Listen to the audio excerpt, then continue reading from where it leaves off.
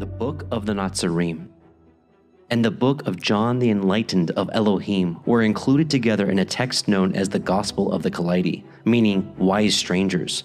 The origins of this work are debated, as no original manuscripts have ever been found. However, it is commonly believed that the books were preserved and passed down by Celtic believers in the 1500s after previously being saved from arson, possibly either the burning of the Library of Alexandria or the Glastonbury Abbey fire in 1184.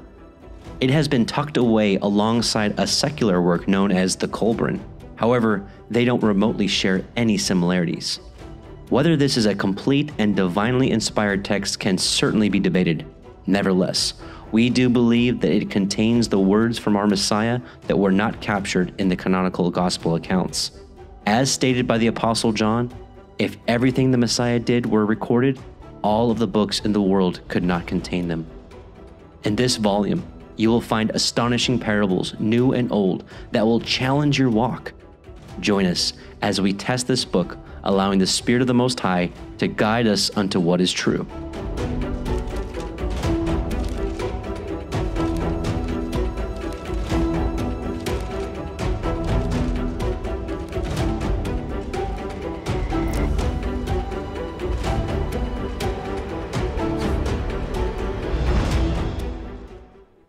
Shabbat Shalom and welcome, brothers and sisters. Welcome to the Parable of the Vineyard YouTube live stream of our new series, The Book of Natsarim Reading and Study.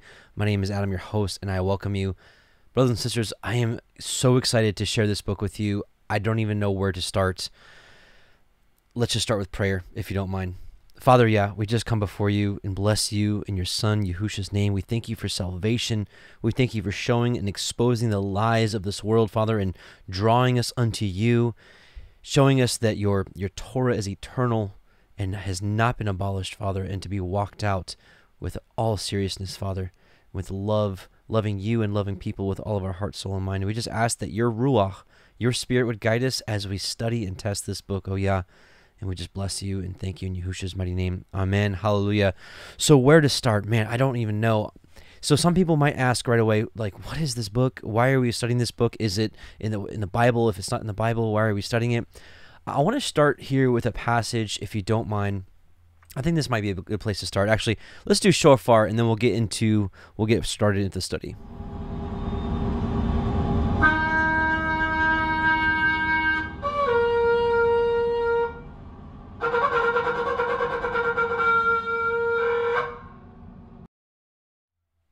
All right, so we're going to start here in the book of 2 Esdras. Just in case you're new, if you're like, uh, Adam, what's the book of 2 Esdras now? The, two, the book of 2 Esdras was included in the 1611 KJV under the Apocrypha section. Messiah quoted it verbatim.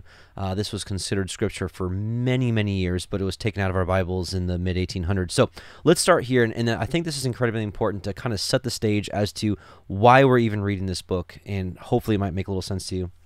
So it says, this is 2 Esdras, uh, chapter 14, verses 44 through 48. Just to give you the, the backstory, um, all the by all, all, the scrolls, all the scriptures were burnt when the um, uh, when the Babylonians uh, destroyed Jerusalem and the the the Jews were sent into exile.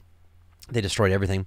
So years later, Ezra, the prophet and priest, was speaking with the Most High and was like, hey, I can I can teach the people and I can share truth and I can reprove them, but what about people that come later? What are they going to do? Because your Torah has been burnt, your your writings have been burnt. How are they going to find the path in the last days? So the Most High granted that all the scriptures would be rewritten, and so Ezra was uh, was given five scribes to write everything. So for 40 days they wrote. So here we go. So 40 so during the 40 days 94 books were written and when the 40 days were ended the most high spoke to me saying, "Make public the 24 books that you wrote first and let the worthy and unworthy read them." Let me pause there real quick. The Tanakh, the Hebrew Tanakh, which is what we call the Old Testament, is comprised of 24 books. Now some of you say, "Well, no, it's 39." Well, in the Hebrew Tanakh, a lot of the books are condensed into one. For example, the Minor Prophets, you know how there's 12 books of the Minor Prophets? Well, in the Hebrew Tanakh, that's one book. And other books are likewise, they're, they're condensed. But the same thing that we have in the Hebrew Tanakh, or the Old Testament today, the 39 books is the same thing as the 24. So the Most High says these 24 books are made public. Everyone can read these. The worthy and unworthy read them. But keep the 70 that were written last in order to give them to the wise among your people. For in them is the spring of understanding, the fountain of wisdom, and the river of knowledge. And I did so. And this is the knowledge of Messiah hidden through these books. But the point is, the Most High can make public books he wants to, and he can hide books if he wants to. So back then, it says 94 books were written. So 70 were not included in the quote unquote canon that we understand. Now it's just Old Testament.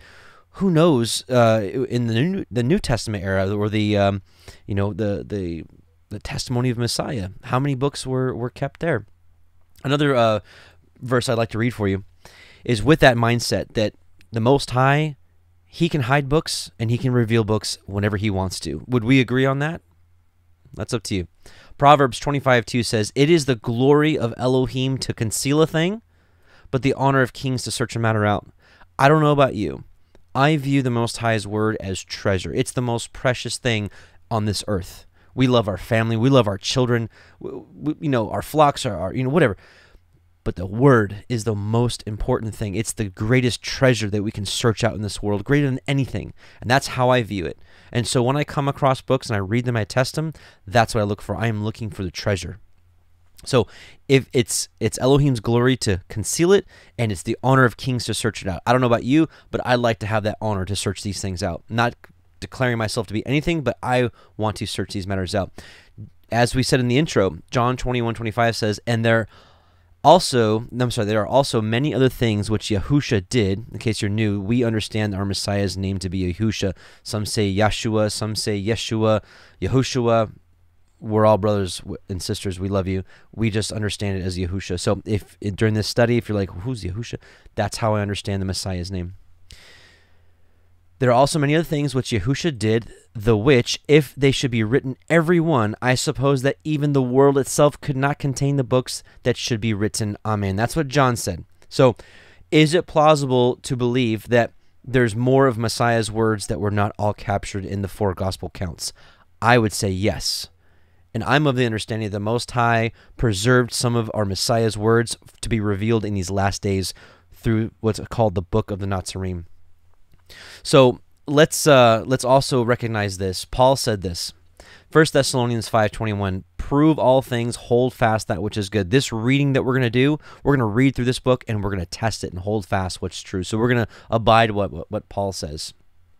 So uh, let's go ahead and get to the book and we're going to read the foreword and then we're going to get into it. So this is the books of the Natsarim and the Enlightened Ones. It was formerly called the Gospel of the Kailedy. Well, the Gospel of the Kailedy took two books. There's two books included in this. By the way, there's a free PDF that we've created. Uh, it's free and available to all. It'll be in the description box in the pinned comment below. That way you can download this for free and read it and test it for yourself. So there's two books in here. It's called the Book of the Natsarim and the Book of John or Yehukanan, uh, the Enlightened One. And so those two books were combined into one book called the Gospel of the Kailedy. Uh, we've kind of restored that to its original name, the Book of the Natsarim. Which, if you're not familiar, Natsarim means branches. That's one of the four the prophesied titles that his people would have is um, the the Natsarim, the branches. And it's this comes from John 15, where he says. I am the vine, you are the Natsarim. So some people ask, what do we call ourselves? Are you are you Jews? No. Are you Hebrews? Well, yeah. Um, you know, what's your denomination? I don't know. We're Natsarim. Let's read the book of the Natsarim. So the foreword. Some of this was in the intro, but we'll read it again. It's important. The Book of the Natsarim, commonly translated as Nazarene or Nazarene, and the Book of Yahukanan or John, the Enlightened of Elohim, were included together in a text known as the Gospel of the Kailedy, meaning wise strangers. The origins of this work are debated as no original manuscripts have ever been found. It's true. So some people were like, some people may stop here. There's no manuscript evidence. I'm out hey, I understand. I totally understand, and I don't I don't blame you. However, I also believe that the Most High can preserve it in any way He wants to. However, it is commonly believed that the books were preserved and passed down by Celtic believers in the 1500s after previously being saved from arson, possibly either the burning of the Library of Alexandria or the Glastonbury Abbey fire in 1184. It has been tucked away alongside a secular work known as the Kolbrin, and I've heard many people talking about this book. This book is pretty interesting because it actually also includes an account from the Egyptian point of view of the plagues in Egypt, the Exodus. It's it's a second witness that are the scriptures are true. It's amazing, but the the we're not here to promote the Kolbrin at all. However, they don't remotely share any similarities. It is more likely that they were both passed down through the same or a similar group of people and timeline. Whether this is a complete and divinely inspired text can certainly be debated, and I'm sure there will be much of that. Nevertheless, we do believe that it contains words from our, our Messiah that were not all captured in the canonical gospel accounts. So that is what this right here is why I'm reading it. I believe that our Messiah is he spoke words of life life changing things, like life changing parables, life changing uh, teachings. And this book contains more of those. And that is why I'm eager to get these out. I've read this several times already. I can't put it down. Um, quite a few of uh, brothers and sisters that have read this already for themselves have all unanimously agreed that this book is profound and that it does contain words from our Messiah. And that's why I'm so enthusiastic to bring this forth to the community. I believe that we can grow and grow greatly from this book. As stated by the Apostle John, if everything Messiah did were recorded, all the books in the world could not contain them. John 21 25. In this volume, you will find astonishing parables, new and old, the new bringing deeper convictions and a sincere desire lo- to look within oneself. This is hands down. And the old being expounded upon greatly. The timing of these books beginning to circulate is encouraging as more and more believers are waking up to the true gospel, salvation in Messiah alone, and the importance of keeping the Torah of the Most High, a concept confirmed again and again in this text. This book is very pro Torah. Certain scriptures, such as Matthew 5 17 through, through 19, are clarified in this book to mean exactly what the Ruach HaKodesh, that's the Holy Spirit, has already been revealing to many of us that the Torah is still for us today and that it's awesome. Here, so here's the Matthew 5, 17 through 19 parallel in this book. I have not come to abolish the Torah or to ta- change the teachings of the prophets, but to complete them, adding any necessary clarification and interpreting them to the understanding of men, much like we see in Matthew 5. You've heard it was said that um, you shall not murder, but I tell you, if you hate someone from your heart, you know, such and such. That's adding necessary clarification. But the time has come to ask when will they be put into practice? When will men bring Yahweh out of the temple and make him a participant in their daily lives? When will men carry these things in their hearts and stop paying them lip service?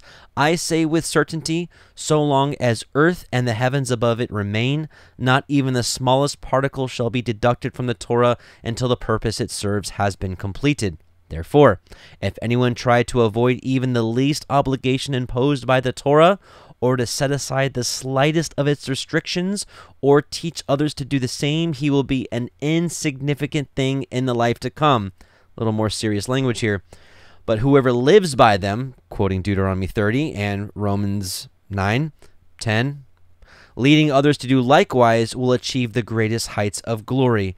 Book of the Natsarim 9, 41 through 42. Please note this text has been revised to restore the sacred names of the Most High and His Son, as well as the original names of people and places. It is also separated into two separate books, which were formally compiled together under the title The Gospel of the Kailedy. Chapter and verse numbers have also been added for ease of reference. It is also important to mention that it was reported among early assembly writers and historians that scriptures were already being tampered with. Justin Martyr testifies to this and cites a couple examples in his book, Dialogue with Trypho. Trypho. Irenaeus also talks about it in his work, Demonstration of Apostolic Preaching. Upon examining this document, we encountered a few out of place passages that oppose the rest of the text. In chapter 19, we have included brackets and actually other places, and italicized the portion we found to be potentially added, altered, or the true meaning lost in translation. If you'd like to read the original for yourself, you can find it here. There's a link. So if you want to read the, the version without the, the revised names and chapter verses and such, there it is right there. Here's another uh, another um, little excerpt I want to share with you. Some disciples came to Yahusha and asked whether they should not withdraw into the wilderness, where they would dedicate their lives to Yahweh. Yah- Yahusha said, Of what use would my teachings be in the wilderness? Are you going to save rocks from sin or convert camels? Will you enlighten the wind or give wisdom to mirages? Where is the benefit if what you learn cannot be put into practice? Learning and good conduct must go hand in hand, and the greatest wisdom is that which teaches men to live in harmony they who seek to escape. Listen to this. This is this is very important because I know there's nothing wrong with living on homestead and those kind of things, but there are certain people that I know are withdrawing, and this is not what he wants us to do. They who seek to escape the tests and trials of life are cowards. Are you going to withdraw from the conflict through lack of courage, standing silently by while the wicked swallow up the good? Book of Natsarim 4 41 through 42. It's time to step out in faith and be the light He has called us to be. May this be a blessing to you and your family, and may the Ruach of truth guide you in all things. Edited and compiled by myself and Victoria Fink, my wife, Parable of the Vineyard Ministries. So, as we mentioned before, this PDF is for free. You can download it at any time you'd like. So there, like I said, like I mentioned before, there's two books. We're actually going to skip the book of Yehochanan the Enlightened of Elohim. We're going to do that after we're finished with the book of Natsarim. I want to get straight to it's straight to Messiah's words. That's the true gem in this book, and I am so excited to go over it with you. So this is going to be a non-biased study. Uh, we're going to expound upon the good and point out errors because there is errors in this book. Uh, big shocker. Um, I'm not too concerned about that. Let me tell you why. Um, because if we if if we throw out this book because there's an error or two, we have to be fair in all things. Matthew 25 5 through 9 says, and he, this is talking about um, Judas. And he cast down the pieces of silver in the temple and departed and went and hanged himself. And the chief priests took the silver pieces and said, It is not lawful for to put them in the treasury, because it is the price of blood. And they took counsel and bought with them the potter's field to bury the strangers in. Wherefore that field was called the field of blood unto this day. Then was fulfilled that which was spoken by Jeremy the prophet, saying, And they took the thirty pieces of silver, the price of him that was valued, whom the children of Israel did value. So this is wrong. Uh, it says by the book of Jeremy. This actually is from the book of Zechariah. And so this my point is, do we throw out the book of Matthew because there's a scribal error? No. What we look for is things that would take us away from the truth, things that would take us away from Messiah, things that would take us away from keeping the commandments of the Most High. That's what we're looking for. Scribal errors, it happens. I mean, look at um, look at we have the Masoretic text, we have the Septuagint, and they disagree. They disagree on on uh, years of birth or how long people lived. But do we throw one out because of that? No, I think we have to understand that there's going to be scribal errors. The Most High has allowed His word to be placed in the hands of men, to be translated to um, I mean, even Messiah, you know, even it was even quoted in Jeremiah, uh, the lying pen of the scribe, things like that. So um, I'm not so hasty to throw out a book just because there's uh, there might be an error there. What we're looking for is doctrine, and that's what's most important to our walk, to our study, to our faith. Is the is the doctrine? Is it pure or not? And that's what uh, that's what I'm interested in. So this book contains treasure, and I'm excited to reveal that together with you. So with that being said let's get started. I know that was a long introduction, but I, it was very necessary for this book because I know um, this is very new to a lot of you. So let's get started. Book of the Natsarim, chapter 1. The birth of Yahusha the Nazarite, who became our master and interpreter of Elohim and the Torah, a worthy vessel for the greatest manifestation of the power of the Ruach HaKodesh seen on earth, occurred in this manner. About the time Yehukanan the forerunner commenced teaching the way of the wilderness beside the Yarden, and the year before Herod died, when Augustus Caesar ruled the Roman world, a babe was born. So this is a slight uh, contradiction because we know in the book of Luke it shows that they were about six months apart. This book is uh, stating that Yehukanan was older when Messiah was born. Doesn't change. Uh, doesn't change the. Um, the overall storyline doesn't change any of um, what we're what the treasure we're really looking for in this book. So just wanted to point that out. The father was Joseph, son of Heli, a carpenter of Galilee, and the mother of Miriam, his wife, who had been a virgin pledged to Yahweh and the temple by her father Shimon, son of Jehoiakim, son of Nathan, son of Eleazar. And this uh, this uh, this testimony here is. Um, confirmed by multiple witnesses of New Testament Apocrypha. Uh, I think it's the Gospel of Peter and a few other books. A decree had gone out that all who claimed kinship within the house of David should be gathered for enrollment in the city of David, called Bethlehem in Galilee. Therefore, Joseph, being rightfully born in the stock of David, took the scroll of his parentage and went to Bethlehem so his kinship could be established. Now, Miriam, being then heavy with child, longed in her heart to be among her kinsmen, and she prevailed upon Joseph to take her, for Bethlehem was only a day's journey from them. The two, with a servant, came to Bethlehem at eventide, but because so many had gathered, the inns were filled. Then, as Miriam's time was close upon her after the journey, a man took pity on her and provided a cave used as a stable. This is also confirmed in uh, multiple New Testament Apocrypha accounts. There, the travelers found shelter and rest. And I think this is interesting because we know uh, Messiah was called the second Adam. Well, uh, according to multiple accounts, Cave of Treasures, um, first Adam and Eve, that as soon as Adam and Eve came out of the Garden of Eden, they went into a cave, the Cave of Treasures. So I thought it would be very interesting that uh, Yahusha, also known as the second Adam, uh, was also uh, born and raised essentially in a cave. Adam and Eve had to stay in that cave for quite some time. That night, Miriam's labors came upon her, and she suffered the pangs of childbirth and cried out in pain.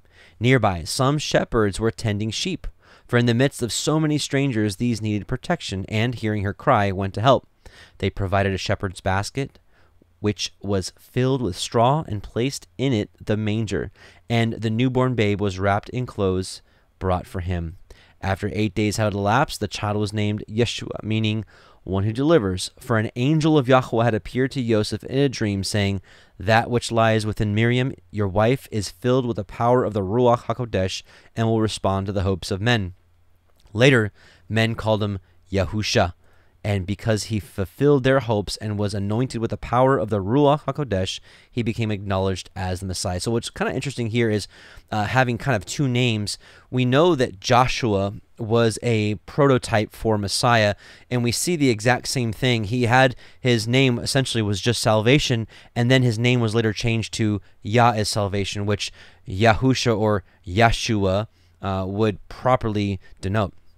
And we see that here in Numbers 13 16. It says, These are the names of the men which Moses sent out to spy the land. And Moses called Oshea or Oshea or Hosea, uh, the son of Nun, Jehoshua. So uh, he kind of added, you know, his name was originally Salvation, and his name was changed to Yah is Salvation. This would be Yahushua or Yehoshua, however you want to pronounce it. So kind of a, a similar pattern here. Um, now, verse 8, this is one of the, we see the brackets here. This is a verse that we had a problem with. Um, originally, we were going to just take these out, but um, thanks to a, a, a, brother who encouraged me to keep the, the text as it was, but just point out the errors and uh, chew the meat and spit out the bones, as they say. Now, the stable was against a hill behind an inn where sages from the east were staying, men of Sestera, which I believe this is um, another word for the Chaldeans wise in the books of heaven and of Nimrod, who carried the cross of fire. Don't know what that means. So Joseph sent for them, requesting they come and foretell the child's future, for such was the custom. I do believe more properly translated, this would have been prophesy over them. Either way, this passage really is a little bit out of, out of place, and we're just going to go right past that. Um, let me just pause here real quick. These first two chapters are really just kind of history. There's not a ton of meat here.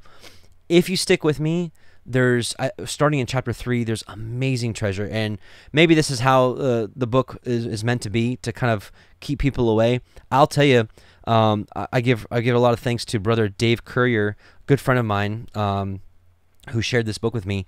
When i first read this book when i started like the like right here i was like uh, something in me i was like you know what? I'm thinking i'm just gonna just put this down. And then I just I, I like I was like no let me just keep reading. And I kept reading and I'm so glad I did because this is this book is absolutely amazing. But I, I believe that it's possible that Hasatan allowed uh, or, or, or employed men to put things into this text to be like ha I don't know.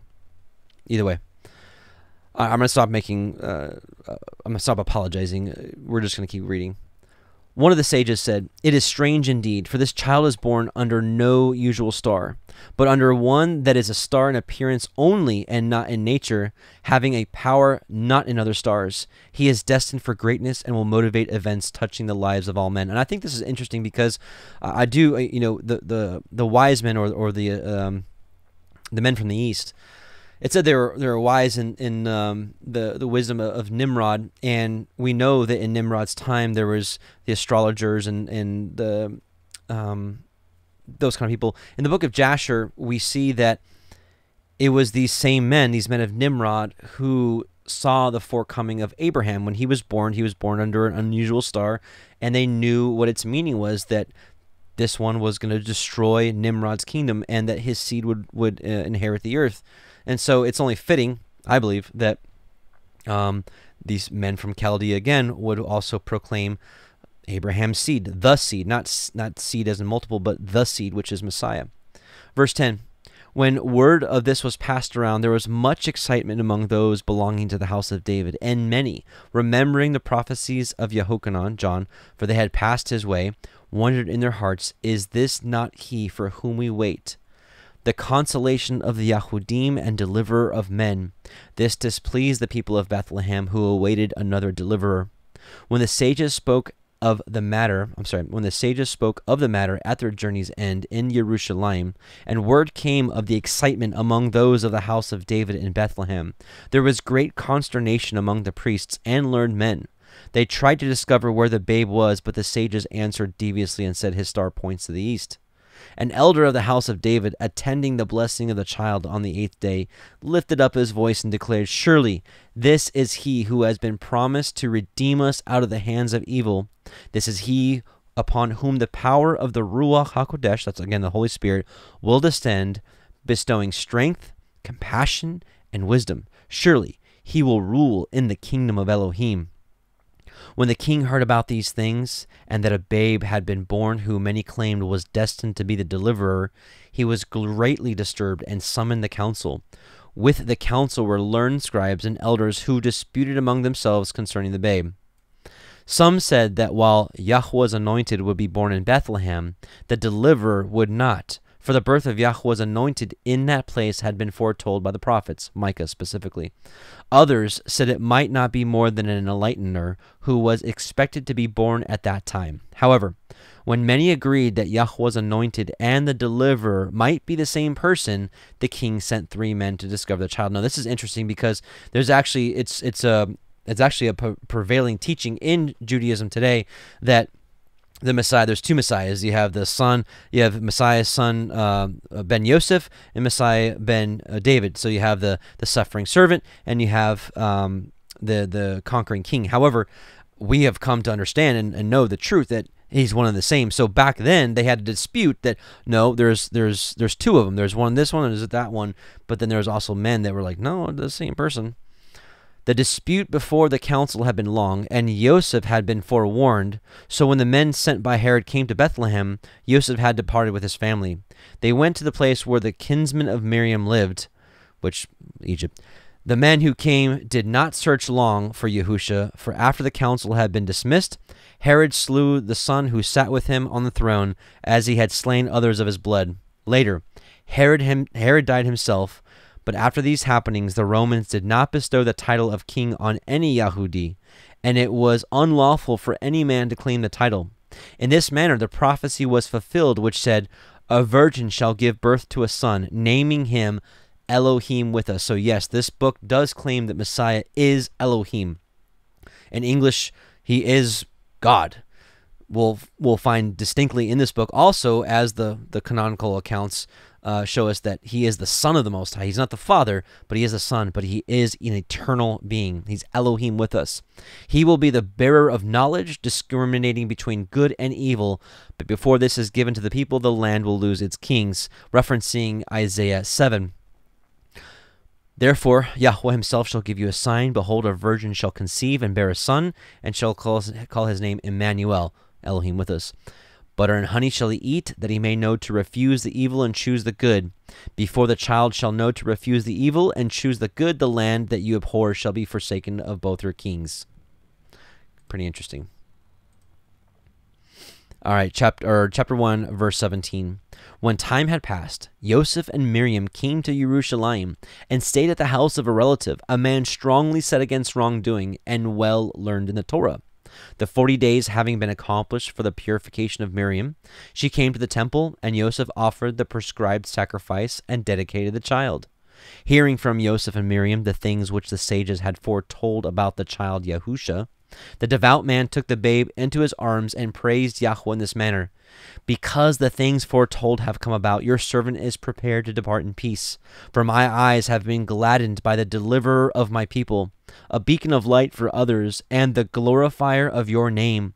He will teach all men the ways of Yahweh and how to walk in his paths, which, again, as we'll continue to see, this text is so pro Torah.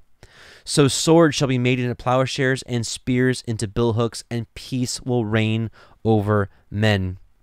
Quoting Isaiah 2. Verse 20 Joseph and Miriam could not understand the meaning of this and asked what it was meant. Whereupon the man replied, I hold a sapling which will grow into a sturdy tree, under the shade of which many nations will find peace. Yet he will also test the strength of our people, tearing them apart in dispute. He comes as a separator, dividing the sheep from the goats, showing each his rightful place. He will place a sword in the hands of the weak and strengthen them, and the ungodly will be smitten. After complying with the requirements of the priestly law, Joseph and Miriam returned with the infant to their home in Galilee, a small place in a hollow at the foot of a hillside. In this text confirms what Luke also testifies to that they were not rich. And we find that in uh, Luke 2 22 through 24, which says this. And when the days of pure purification according to the Torah of Moses were accomplished, they brought him to Jerusalem to present him to Yahweh. As it is written in the Torah of Yahweh, every male that opens the womb shall be called set apart or holy to Yahweh and to offer a sacrifice according to that which is said in the Torah of Yahweh, a pair of turtle doves or two young pigeons. What's interesting about that is this was offered for someone who could not afford the main offering. You will see that here in Leviticus 12, 6 through 8. And when the days of her purifying are fulfilled for a son or for a daughter, she shall bring a lamb of the first year for a burnt offering, and a young pigeon or a turtle dove for a sin offering unto the priest, unto the door of the tabernacle of the congregation unto the priest who shall offer it before Yahweh and make an atonement for her, and she shall be cleansed from the issue of her blood. This is the Torah for her that has borne a male or female. Now listen, and if she be not able to bring a lamb, then she shall bring two turtles, turtle, turtle doves, or two young pigeons, the one for the burnt offering and the other for a sin offering. So the point is, she didn't bring the lamb. She just brought the two turtle doves, which meant they couldn't afford it, so they were not wealthy, which confirms what's here. They lived in a small place in a hollow at the foot of a hillside. There the child grew up, developing a strong body and keen mind, for he was strangely talented.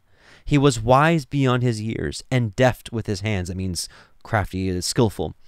And when old enough, he began learning the craft of plowmaking. His parents, following the custom, went each year to Jerusalem for the festival of deliverance. This is the Passover, of the Pesach. And when Yahusha was twelve, they went as usual, but this time taking him with them, having remained the seven days of the festival. Joseph and Miriam set off to return home, but let the boy linger in Jerusalem. For a kinsman of theirs was also returning, and they thought Yahusha was in his company. Having gone a day's journey and finding Yahusha was not with his kinsmen, they became perturbed, and at first light in the morning returned to Jerusalem. It was some time before they found Yahusha in a small, outside room of the temple, sitting before an instructor of the priestly law. His parents were astonished at finding him accepted among learned men, and the teacher expressed amazement at the child's love of learning. But Miriam scolded the boy for his inconsideration, saying, We have suffered much during the search for you. Yahusha replied, Why search for me elsewhere, knowing I must concern myself with the work of my Father? This saying disturbed the instructor. Neither could his parents understand the meaning of the reply. But they took the boy away with them. Henceforth he always obeyed his parents. But Miriam kept these things in the storehouse of her heart. As Yahusha grew up, his intelligence increased, and he was well liked by all, but he was a solitary child, given to much wandering. So maybe like a loner. Um, I don't know, not like a loner, like like in a negative sense, but like he liked to be alone and probably ponder things and things like that. But um, just a confirming passage in Luke two, and Yahusha increased in wisdom and stature and favor and favor with Elohim and man. And the reason I say this is because we're gonna we're gonna talk about this more in this book is that he had a, even though he was Elohim, a, a, an eternal being that was with the Father and created everything, he literally came down and became a man. And so he had to grow up. He had to increase in wisdom. He had to learn. He had to um, go through trials, and, and which we'll see more about in this book. We'll see more of the human endurance that he had to partake. Um, but this book does confirm that he he is Elohim. Um, but it gives us a more of a understanding of what he had to endure. Because it's like if he if he didn't come down as a man, and that he was literally just Elohim that came down here and didn't have to suffer these things. We learn about in the book of Hebrews that he had to endure everything, all the trials and temptations that we did, so that he could be an even more long suffering uh, high priest. Anyways, chapter 2. Yosef died when Yahusha was a youth, at that time working as a craftsman among the Kenites. After Yahusha had been away a long time, he returned to the house of his brothers. One day, while he worked under the shade of a tree, they came to him and said, Out in the wilderness by Yarden, or the Jordan, there is a man who cleanses people by immersion in water, baptism. He claims strange knowledge and calls himself the forerunner. We are going to see what he teaches. Yahusha says, I have heard of these things, and surely as the son of our forefather Yishai, pray, that's the son of Jesse, and of course this is talking about David, this is talking about Psalm 51, prayed to be cleansed of his secret faults and presumptions. The sons of our father should not stand aloof from cleansing. I will go with you. The brothers of Yahusha said, This man is called Yehochanan, or John. He heralds the coming of an enlightener who will be an all wise instructor in goodness. He himself does not bear this new light which will dispel the darkness in men's minds. He tells of one who will grant men the privilege of becoming the children of Elohim, awakening to eternal life, that part within them not born of earthly desires. Let's talk about the privilege of becoming the children of Elohim. And that's what Messiah offers us. And we ought to be so grateful for this opportunity and gift that's been given to us. John 1 9 through 12. That was the true light, we're talking about Messiah, which lights every man that comes into the world. He was in the world, and the world was made by him, and the world knew him not. He came unto his own, and his own received him not. But as many as received him, to them gave he the power to become the sons of Elohim, even to them that believe on his name. Hallelujah to that. 1 John 3 Behold, what manner of love the Father has bestowed upon us, that we should be called the sons of Elohim. Therefore the world knows us not, because it knew him not. Beloved, now are we the sons of Elohim, and it does not yet appear what we shall be, but we know that when he shall appear, we shall be like him. Can you imagine that for a second? For we shall see him as he is, and every man that has this hope in him purifies himself, even as he is pure. Whosoever commits sin transgresses also the law, the Torah, for sin is the transgression of the Torah. And ye know that he was manifested to take away our sins, and in him is no sin. Whoever abides in him sins not. Whoever sins has not seen him, neither has known him. Little children, let no man deceive you. He that does righteousness is righteous, even as he is righteous. And righteousness is defined as walking in the Torah. That's how we know Messiah was righteous. He walked completely in the Torah of the Most High, perfectly, without fault, declared righteous. Now, while he washes us and makes us clean of all the sins that we have partaken in, do we just jump back in the mud like a pig does after being washed? No. Elohim forbid. The book Second Peter two tells us specifically not to be like a dog that eats back eats its vomit back up, or like a pig that gets washed that goes jumping right back in the mud. So we've been cleansed. Now let's walk in cleanliness. Let's walk in righteousness. And he gives us the Ruach HaKodesh to give us that power to do so. All right chapter 2, verse 5. So Yahusha and his brothers went out seeking Yehochanan, finding him beside the Yarden, at the place of crossing where there was a pool. The hairs on the head of Yehochanan were already white. So again, this book kind of alluding to that John was much older. Um, there is also, um, you know, there is uh, something to take into consideration. The book of Jubilees, which I do, I do like, but it has some some errors as well. But anyways, um, there there's a couple there's a passage here I want to share. First of all, we know that John is prophesied here in Malachi 4, verses 5 through 6. Behold, I will send you Elijah the prophet before the coming of the great and dreadful day of Yahweh. He shall turn the heart of the fathers to the children, and the heart of the children to their fathers, lest I come and smite the earth with a curse. So,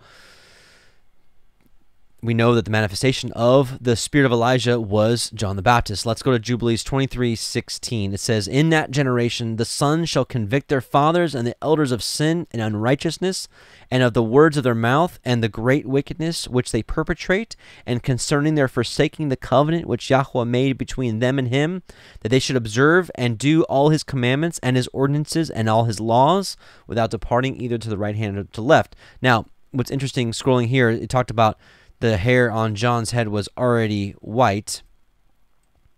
There's an interesting passage here in Jubilees. Uh, it says here, "And the heads of the children shall be white with gray hair, and a child of three weeks in in this book, a week is seven years, so 21 years old. And It says, "And the heads of the children shall be white with gray hair, and a child of three weeks, 21 years old, shall appear like an old man of 100 years." Kind of, I don't know. I don't know what to do with that, but just something to consider.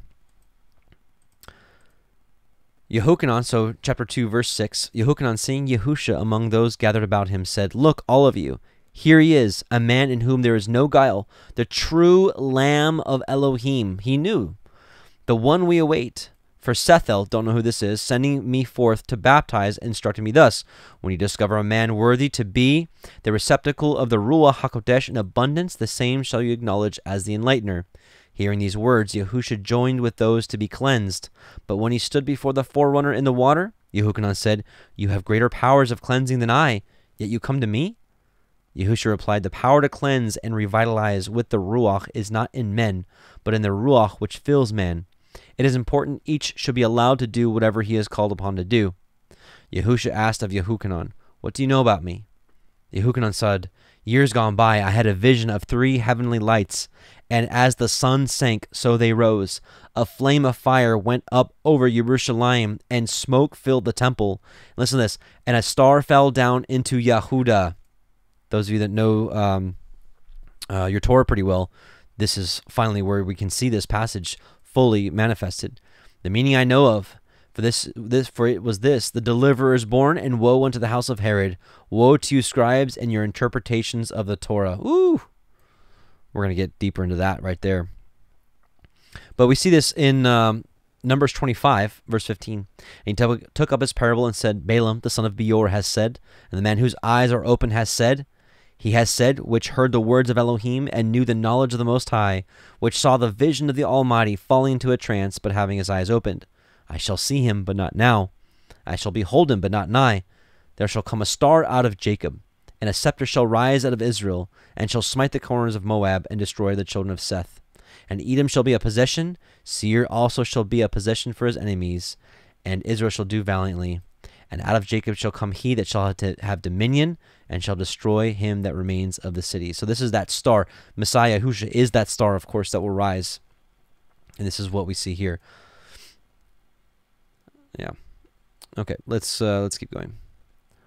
Chapter 2, verse 11. The star that appeared and stood over Jerusalem was a child planted into Bethlehem from out of the heavenly heights. So we see that he literally came from heaven. This book declares that.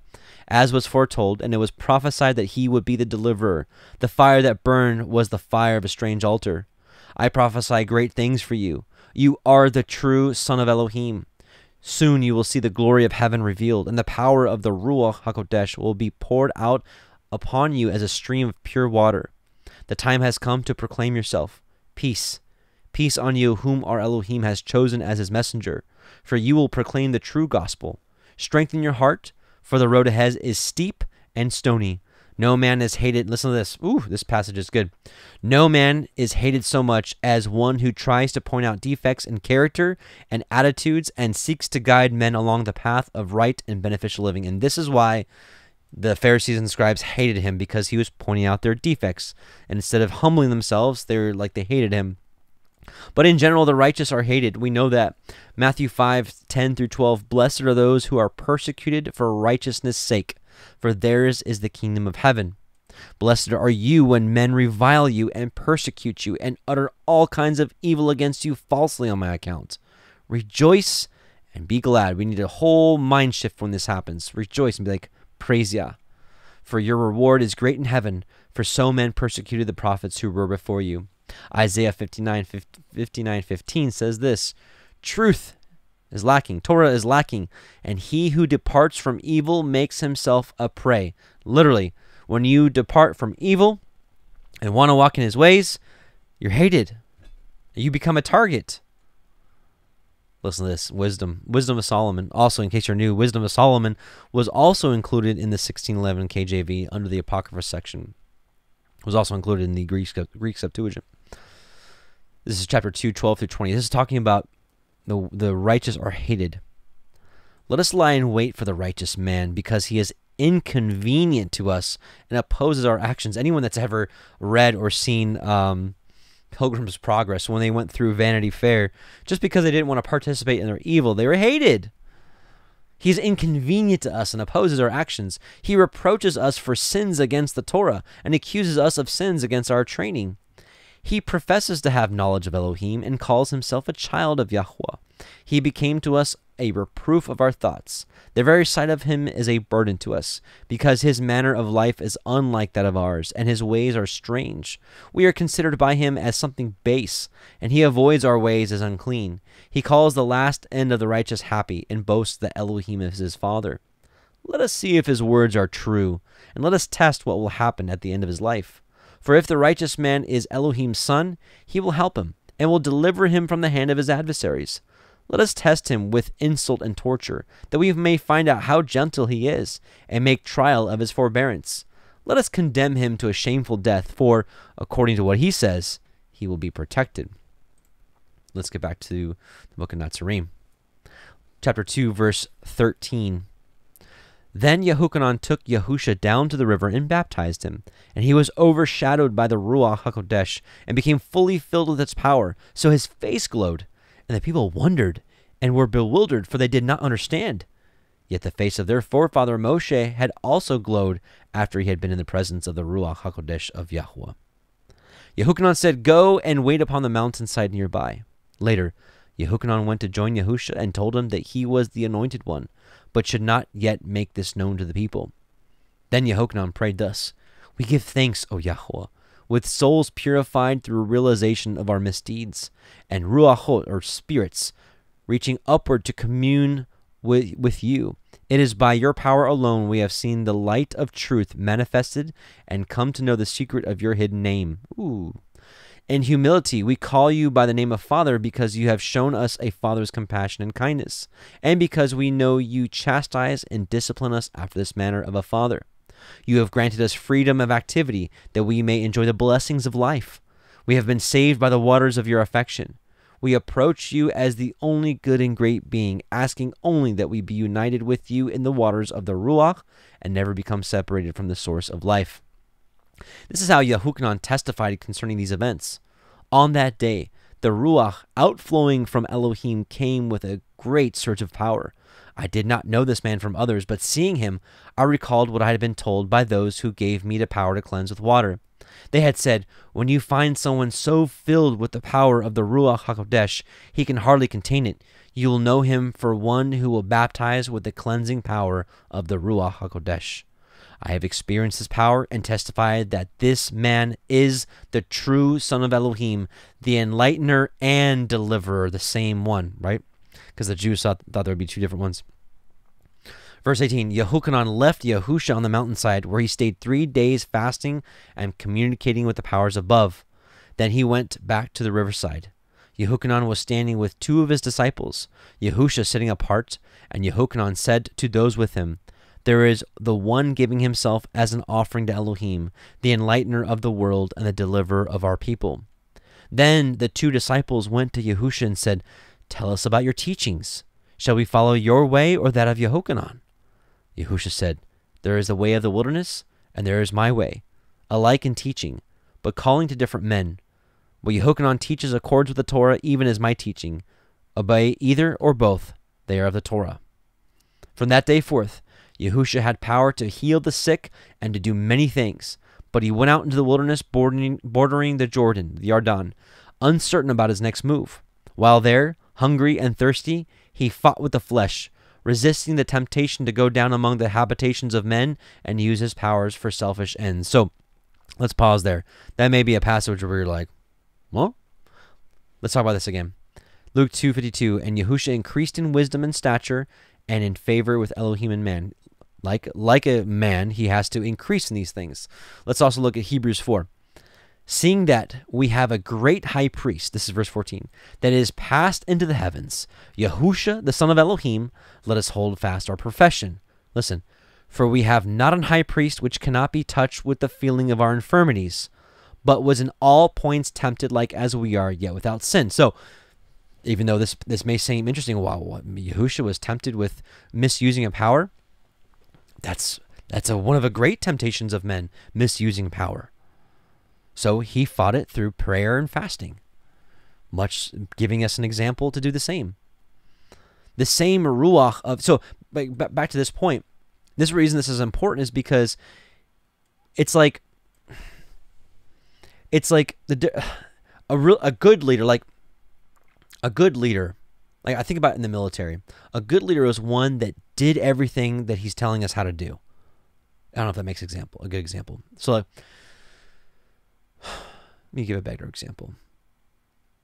Okay, so like, like in I, I used to be in the business world. I was in the sales world, and I felt that I could be a more effective trainer or leader for salespeople because I did sales myself. I I experienced all the things that a salesperson experiences, knowing uh, the hardships, the trials, um, the things that come your way, and since I did that, later on got promoted to being a sales manager and trainer, I was able to train them better because I know, I get it, I've done that. And here's how uh, I was able to overcome this and overcome that. So, in a much greater way, in a whole life sense, Messiah is going through all these things that we go through, all the emotions, temptations, trials, so that he can better help us and guide us, that he can show us an example of how it's done, number one, but also in the Ruach, of course that He can help us, guide us through everything. 1 John 4 Beloved, believe not every spirit, but try the spirits whether they are of Elohim, because many false prophets are gone out into the world. Hereby know you the spirit of Elohim. Every spirit that confesses that Yahusha, uh, Hamashiach, is come in the flesh is of Elohim. Come in the flesh means, means become human. And every spirit that confesses not that Yahusha Hamashiach is come in the flesh is not of Elohim. And this is that spirit of Antichrist, whereof you have heard that it should come, and even now already it is in the world. So we have to understand that the Son of the Most High, the an eternal being, came down and became a man and was tested with all these things. All right, chapter 2, verse 22. The same Ruach of Yahweh which overshadowed Yahusha overshadowed the creation. It enlightens our outer darkness and bestows life and is eternal. Yehochanan was one of those who can see the ruachot of men, the spirits of men, and so he knew the nature of Yahusha. These things took place at Beth Arba, which means the place of crossing. So there's the first two chapters. If you're still with me, praise Yah. Some cool things there, but chapter three and beyond, this is where it gets really good. So if you stick, if you stuck it out, hey, now uh, I, really believe that a, a really amazing reward comes from not reward of just hearing these words. Okay, chapter 3. Let's see. Coming from the wilderness, Yahusha still retained the full power of the Ruach HaKodesh. Having it on trusteeship from Elohim, he would not use it unworthily. At night it shone around him like a pale blue haze, and though many have it, never has another manifested it in such strength two followers of Yehochanan, the forerunner, one being Andrew, the brother of Shimon, were sent by him to be with Yahusha and accompanied him to the Galilean Sea of the Gentiles.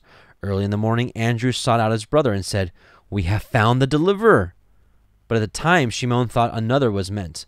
When Yahusha had known Shimon for two days, he said, You are strong, silent, and steady one likely to be ever steadfast in conflict. So uh, it looks like uh, if this is true account, looks like uh, the uh, what's that show? Um, the chosen got got his personality a little bit wrong. One likely to ever be steadfast in conflict. Therefore, you shall be called Kepha. This meaning the rock in the tongue of the Gentiles. And from that day, Kepha became a follower of Yahusha.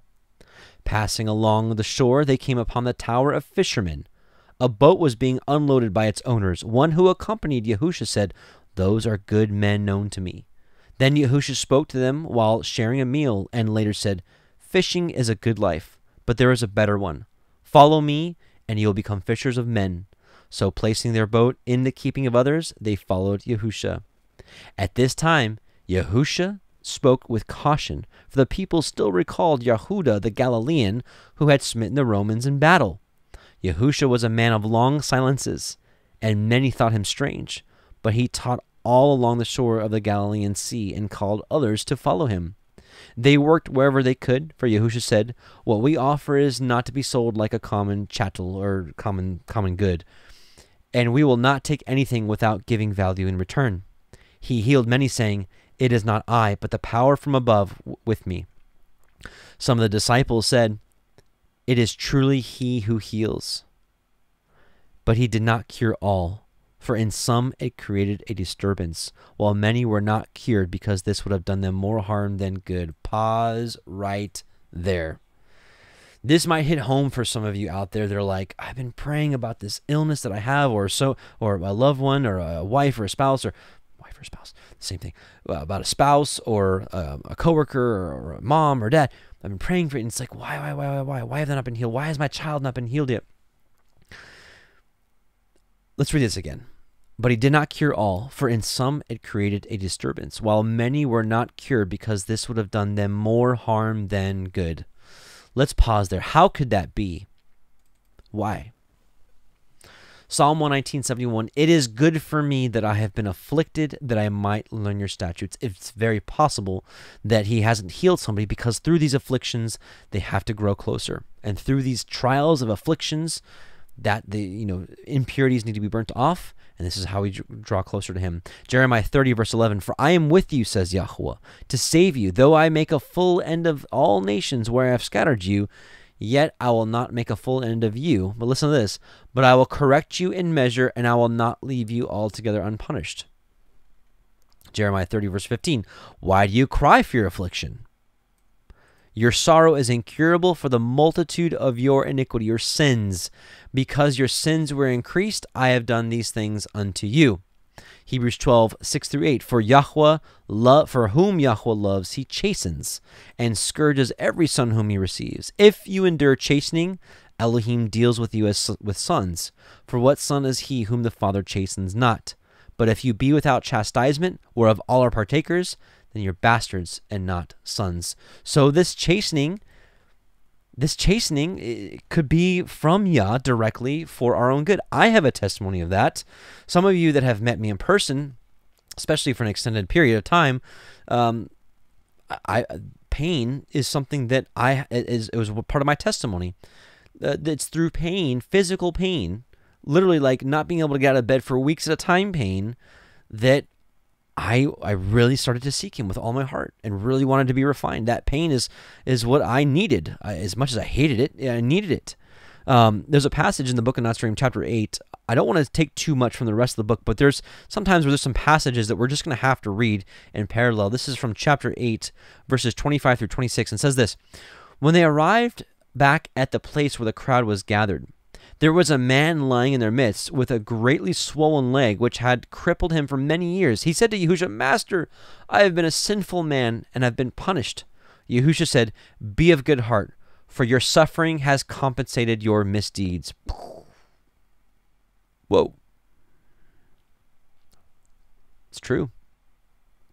I with before I even read this book, I've told people, a lot of people ask me, like, Adam, why are you like limping around and what's wrong? And I told them of my, you know, my, um, my testimony and I've shared, you know, I've, I've got a, a, thorn in my side. Of course, I would love if Yah would just relieve me of this one day. What, a, what an amazing miracle.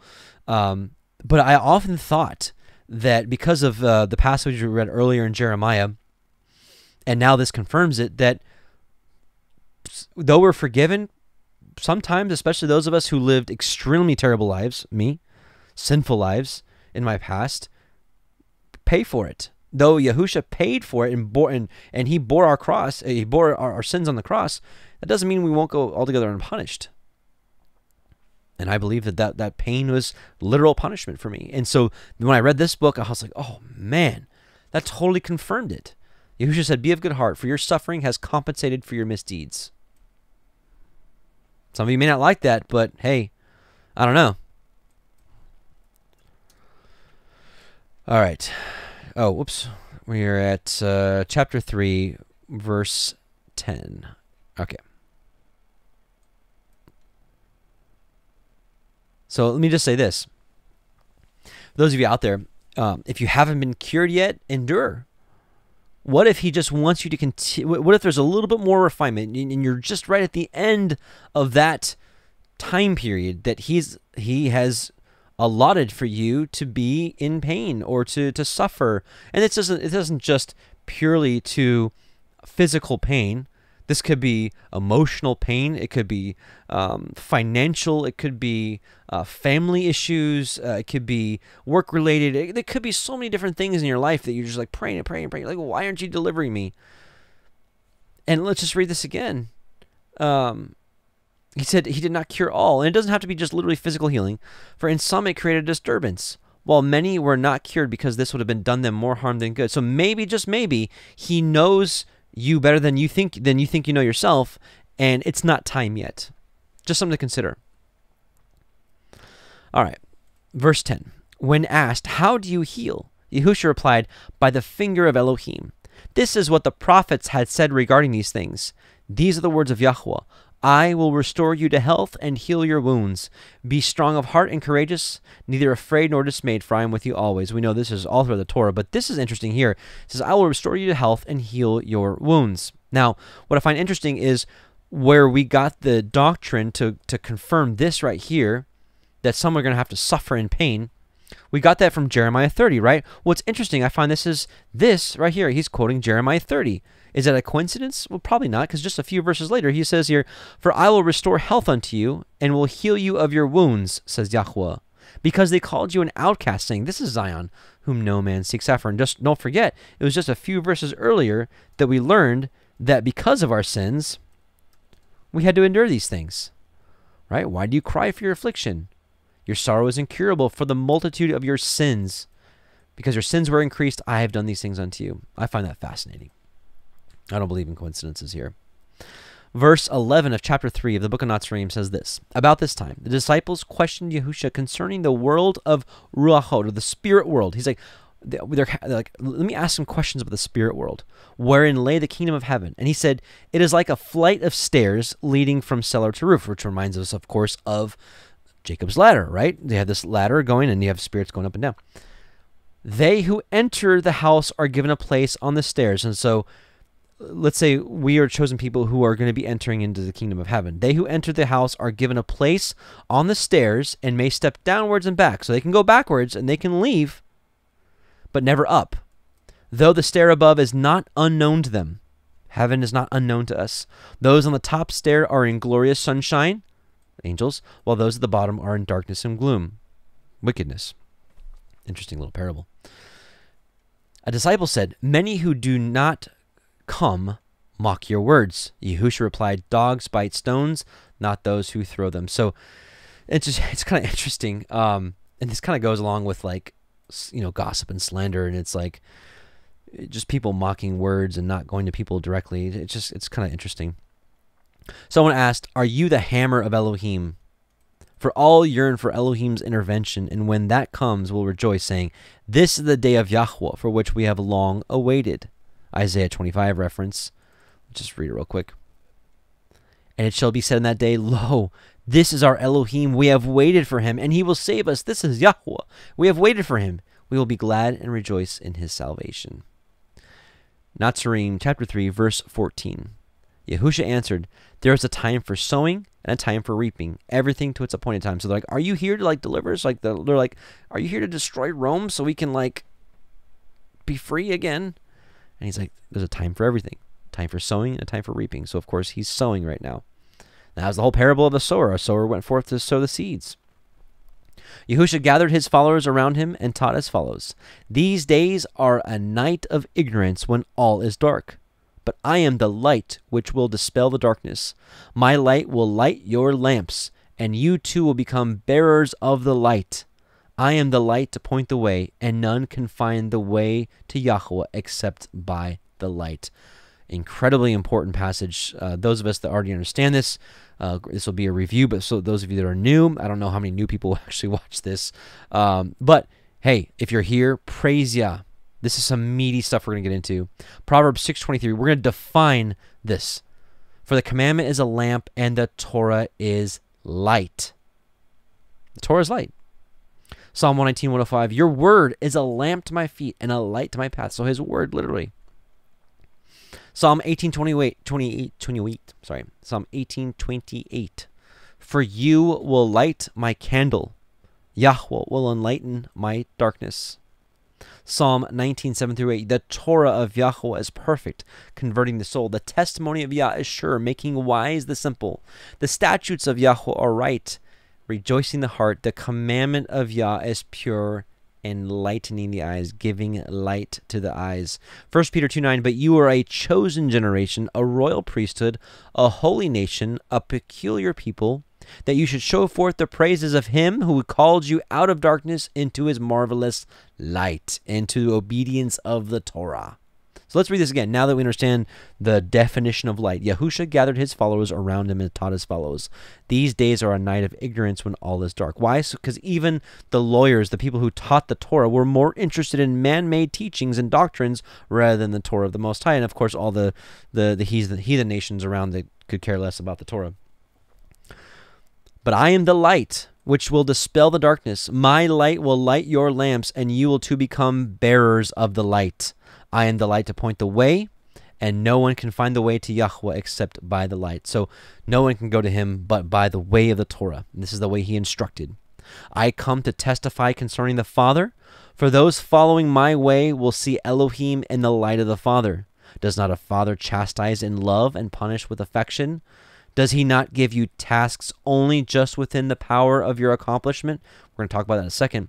Even as with an earthly father, so with the heavenly Father, who is infinitely infinitely greater. Being flesh, we understand earthly ways, but the ways of Yahweh may be also known and understood, for his ruach resides in all men. Of course, that's the not the Holy Spirit, but the the the breath of life does so here this part here does he not give you tasks only just within your power of accomplishment? I, I want to um, i want to expound on that because this is a very important part here that we all have a part to play.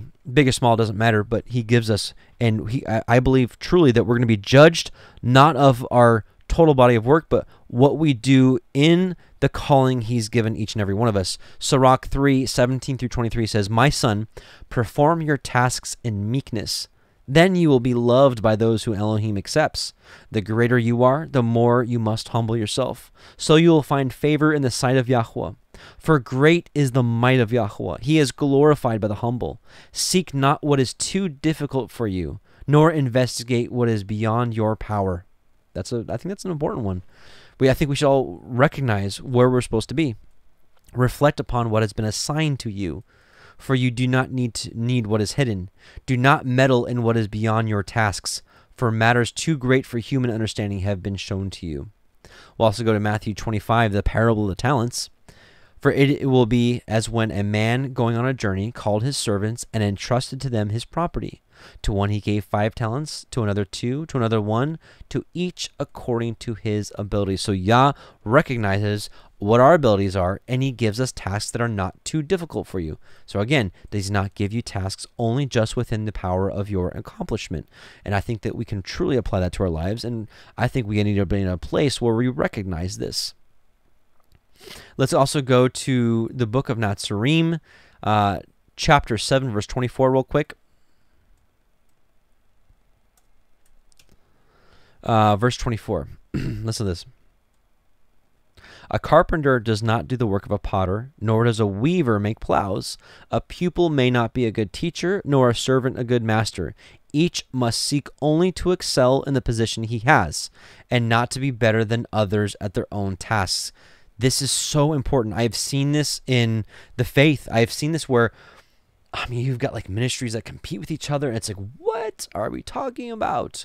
We're in the same field. We shouldn't be like competing against each other.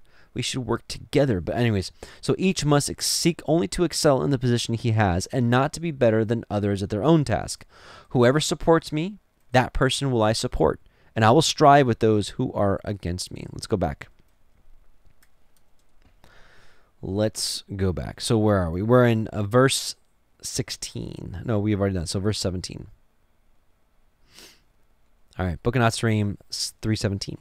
Be upright in faith yourselves and teach uprightness and truth. Fear no man, especially the rich and powerful, for they live in servitude to their possessions and position. Both. It's not just riches, it's also position. He's going to teach us more about that in this book about position.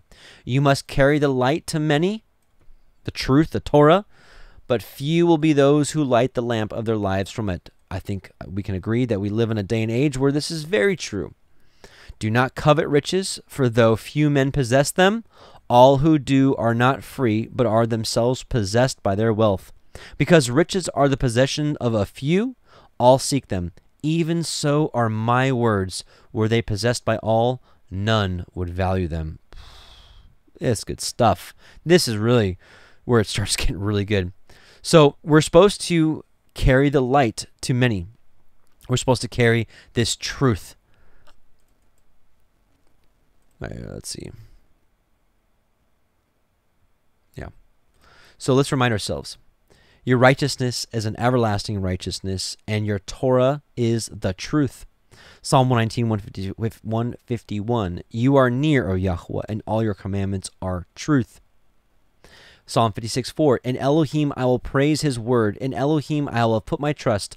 I will not fear what flesh can do unto me. So it says here, Fear no man, especially the rich and powerful, for they live in servitude to their positions. So don't fear them. I will not fear what flesh can do unto me. Psalm 118.6 Yahweh is on my side. I will not fear. What command do unto me? Who cares? Let's talk about the rich.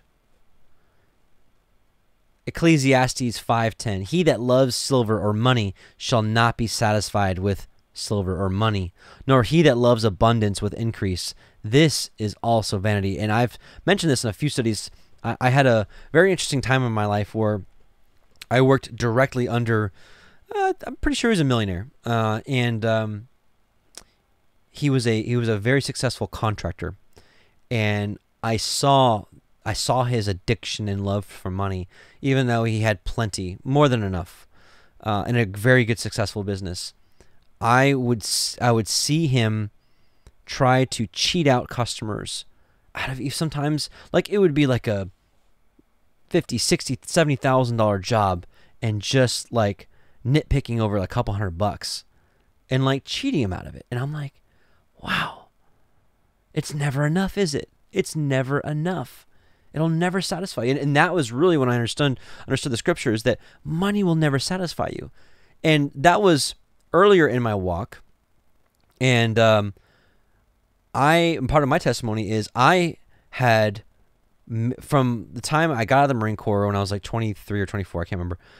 From that time till my early 30s, uh, I made a lot of money. I was not not like rich, considered rich or or uh, that, but I'm you know in throughout my 20s I made six figures, which is a lot for being in your 20s, and so I bought what the world was selling that you know money will buy you happiness. And i bought all the things that i wanted and i just over time i'm like wow why am i still why i still hate myself? Why are none of these things making me happy? Right?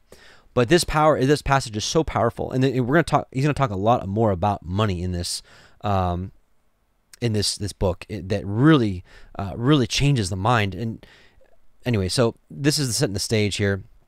But really what we should be searching after Proverbs 2 says this, My son, if you will receive my words, hide my commandments with you. This is the real riches. So that you incline your ear into wisdom and apply your heart to understanding. Yes.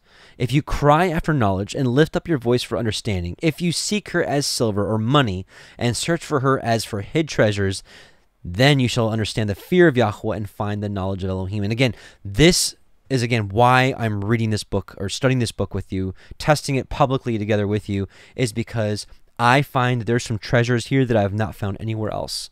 And I don't want to sit on this treasure. I want to share it with anyone who will listen. I don't I don't expect this study to be a popular study. Uh, that's not why I'm doing this study or any studies is to be popular, but to do the mission that I've been called to do, which is to um, a big part of the, the ministry that I- I've been I feel like I've been called to do is to restore these books that were hidden uh, during the time that Yahweh calls us to do it. And I believe that this is the time that this book is to be restored. So we're going to go to Book of Natsarim, chapter 4, verses 38, 37 through 38. Um, and I want to share a couple more things about money or riches. Some really, some passages that really hit home. Um, chapter 4, verses 37 through 38.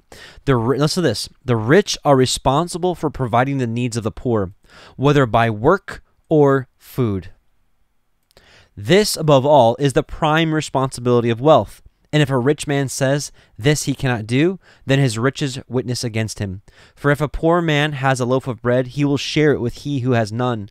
And a beggar at the door of a poor man receives better treatment than he does at the doors of the rich. Yet the rich have the most to give, and this is the sin of the wealthy. Listen to this riches of themselves are not sinful. Case in point Abraham, Isaac, Jacob. It is what they make of men that brings them into ill repute. If they were properly regarded as something permitting the possessor to study the books of wisdom and to redress the wrongs of the poor, then they would serve a good end.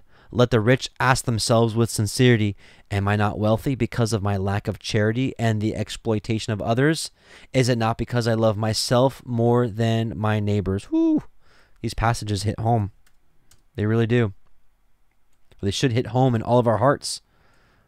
I'm not saying this hits home like I'm a rich guy and I should like. I'm just saying like these passages, they really they, I don't know. Maybe I'm just hyping it up too much. Maybe I'm just, I don't know. Okay. So we we saw also here, you must carry the light to many, but few will be those who light the lamp of their lives from it. So we're to carry the truth to many. Acts 13 verse 47 says, For Yahweh commanded us, saying, I have set you to be a light of the nations, that you should be for a salvation unto the ends of the world. So this is the this is the apostles uh, quoting Isaiah 42, I think 42 or 43, um, that they're to, to carry the light. So this is exactly what Messiah says that He's going to light our lamps, and that we're to carry that light to many. But few will be those who light the lamp of their lives from it. I've been doing this long enough to know that I've been sharing this with people and with just most the majority of people that's just like no. No. But listen to this. Because riches are the possession of a few, all seek them. Even so are my words. Were they possessed by all, none would value them. He's seeking for the few. He's seeking for the precious. Just like we look at his words as precious. He looks at his people as precious. To Esdras 7 45 through 61 says this I answered and said, O sovereign master, I said then and I say now, Blessed are those who are alive and keep your commandments. But what of those for whom I prayed? For who among the living is there that has not sinned, or who among men that has not transgressed your covenant? And now I see that the world to come will bring delight to few, but torments to many. For an evil heart has grown up in us, which has alienated us from Elohim, and has brought us into corruption and the ways of death, and has shown us the paths of perdition, and removed us far from life, and that not just a few of us, but almost all who have been created. He answered me and said, Listen to me, Ezra, and I will instruct you, and will admonish you yet again. For this reason the Most High has not made one world but two. Whereas you have said that the righteous are not many but few, while the ungodly abound, hear the explanation for this. If you have just a few precious stones, will you add to them lead and clay? So it's like if you got like rubies and emeralds and all this, stuff, would you like want to like mix clay into those gems? He's like, uh, I said, Master, how could that be? And he said to me, Not only that, but ask the earth, and she will tell you. Defer to her, and she will declare to you. Say to her, You produce gold and silver and brass, and also iron and lead and clay. But silver is more abundant than gold, and brass than silver, and iron than brass, and lead than iron, and clay than lead. Judge therefore which things are precious and desirable, those that are abundant or those that are rare. I said, O sovereign master, what is plentiful is of less worth, for what is more rare is more precious. He answered me and said, Weigh within yourself what you have thought. For he who has what is hard to get rejoices more than he who has what is plentiful. So also will be the judgment which I have promised. For I will rejoice over the few who shall be saved, because it is they who have made my glory to prevail now, and through them my name has now been honored. And I will not grieve over the multitude of those who perish, for it is they who are now like a mist, and are similar to a flame and a smoke. They are set on fire and burn hotly and are extinguished. So the, the point of this is he looks at us as like the precious gems. And I believe that we look at his words as the same. Even so are my words, were they possessed by all, none would value them. And that's why I believe it's it's just another reason that they're, they're treasure. They're absolute treasure. Okay, uh, we're going to go a little bit longer. I think we're going to go to about verse 26, and we're going to end the study for this uh, part one. So, Book of Natsarim, chapter 3, verse 19. One said to Yahusha, Master, we are not all like Yehochanan, John, who could surely eat bread made with sand. We learn in we learn even more so in the book of John the Enlightener, which we're going to do after this whole book is done, that he it just shows more of just how a hardy and tough man he was. But they ask, Is there no easy way? Yahusha said, The only easy paths in life lead nowhere, or are cut by others but the path I point can be cut by none but yourselves. A peddler going from place to place is willing to undergo the hardships incurred through his wandering in order to earn his livelihood. Even so, should you be prepared to cheerfully accept the hardships imposed by life in order to gain glory in the life which follows. Strong passage.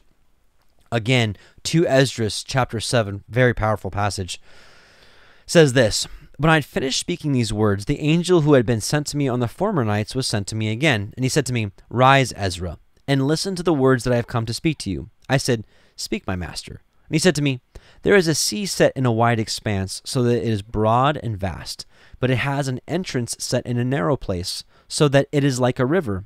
If anyone then wishes to reach the sea, to look at it, or to navigate it, how can he come to the broad part unless he passes through the narrow part? Another example. There is a city built and set on a plain. It is full of all good things, but the entrance to it is narrow and set in a precipitous place, so that there is fire on the right hand and deep water on the left. And there is only one path lying between them, that is, between the fire and the water, so that only one man can walk upon that path. If now that city, this is New Jerusalem, eternal life, is given to a man for an inheritance, how will the heir receive his inheritance unless he passes through the dangers set before him? I said, He cannot, master. And he said to me, So also is Israel's portion. For I made the world for their sake, and when Adam transgressed my statutes, what had been made was judged. And so the entrances of this world were made narrow and sorrowful and toilsome. They are few and evil, full of dangers, and involved in great hardships. But the entrances of the greater world are broad and safe, and really yield the fruit of immortality. Listen, all that to, to say this Therefore, unless the living pass through the difficult and vain experiences, they can never receive those things which has been reserved for them. Sirach, Ecclesiasticus, also included in the 1611 KJV under the Apocrypha section, also in, in considered scripture for a long time, also included in the Septuagint, and another amazing read. My son.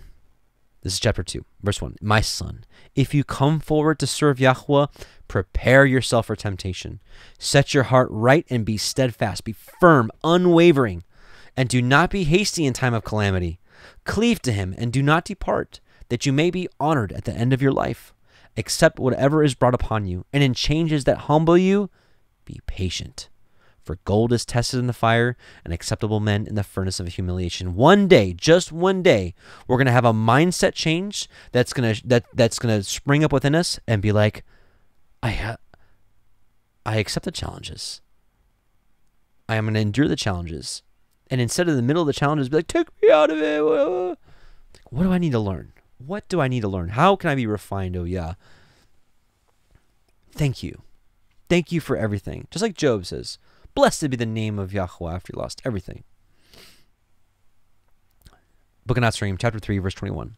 If a child is not raised with austerity, we're gonna we're gonna define austerity in a second. Can it enjoy the pleasures of life, later life? Only the foolish parent overindulges the child, and if it is done in the name of affection, the parent is either a hypocrite or irresponsible. Let's look at austerity. It's actually, instead of the definition, we're to look at the thesaurus uh, for austerity. Um, austerity, the rigor. And this kind of goes into the, the verses we just read about life is hard and it's meant to be. Ch- training a child with prudence or self discipline. So, anyways, some of the other one Puritanism, uh, chastity, economy, sobriety, temperance, strictness. So again, if a child is not raised with austerity, it cannot or can it enjoy the pleasures of later life. Only the foolish parent overindulges the child, and if it is done in the name of affection, like oh I love my child, I just love him, the parent is either a hypocrite or irresponsible. Let's read uh, another part of Sirach, chapter 30. This is about rearing children. Very important. So I want to expand on what Messiah is talking about here about raising a child with strictness, with economy, with self discipline, with correction. Correction is important, regardless of what the what the world teaches.